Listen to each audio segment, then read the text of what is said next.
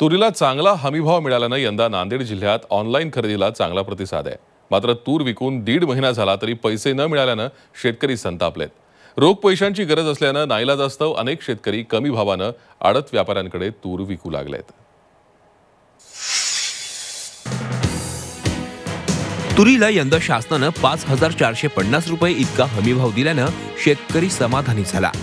त्यामुळे नांदेड जिल्ह्यात ऑनलाईन खरेदीला चांगला प्रतिसाद मिळाला. गेल्या वर्षीच्या तुलनेत यंदा तुरीचं उत्पादनही कमी झालंय. त्यामुळे गेल्या वर्षीसारख्या रांगा खरेदी केंद्रावर नाहीत. यंदा नाफेडनं ऑनलाईन पद्धतीनं तूर खरेदी सुरू केली आहे नांदेड जिल्ह्यातील एकूण नऊ केंद्रावर आतापर्यंत सहासष्ट हजार तीनशे सहासष्ट क्विंटल तूर खरेदी झाली. मात्र सुरुवातीला सात दिवसच शेतकऱ्यांना पैसे मिळाले. त्यानंतर नऊ फेब्रुवारी पासून खरेदीच्या पैशांसाठी शेतकऱ्यांना खेटे मारावे लागत आहेत खरेदी सुरू असली तरी वेळेवर पैसे मिळत नसल्यानं शेतकरी हैराण झालेत. त्यात आता लग्नसराई सुरू झाली आहे शिवाय पाडवा होऊनही सालगड्याला देण्यासाठी शेतकऱ्यांकडे पैसा नाही. तूर खरेदीला टाकली शासनाच्या खरेदी केंद्रावर. पण काय करता? दीड दोन महिने झालं तूर खरेदीला टाकून. तूर खरेदीला टाकून दीड दोन महिने झालं शासनाच्या खरेदी केंद्रावर टाकलेली आहे पण काय करता? पैसेच मिळत नाहीत. आता अडचणी खूप आहेत शेतकऱ्याला प्रत्येक शेतकऱ्याला कारण प्र- प्रत्येकाच्या इथं काही ना काही अडचणी आहे. कोणाची इथं लग्न आहे कोणाची इथं काही आहे काही आहे. तर त्या नाईलाजानं तिथली तूर नाईलाजानं उचलावं लागते आणि मार्केटमध्ये बेभाव द्यावा लागते. शासनाच्या हमी आपण म्हणा ऑनलाईन केलेली आहे तूर पण बरेच दिवस झालं टाकून बी पैशाचं काय अजून निर्णय लागलेला नाही. तरी आता त्या तिथली तूर उचलून या मार्केटला बेभाव विकावं लागेल.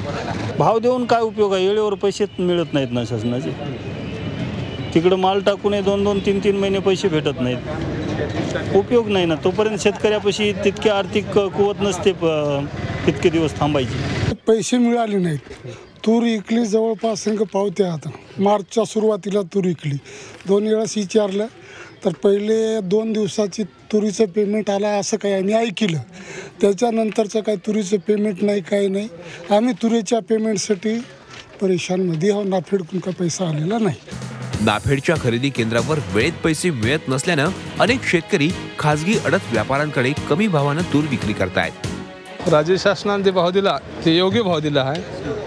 पण पैसे उशिरा मिळत असल्यामुळं हे व्यापारी आहेत ते आमचं लूटमार करीत आहेत. आमचे बत्तीसशे चौतीसशे आमच्यापर्यंतच घेत आहेत.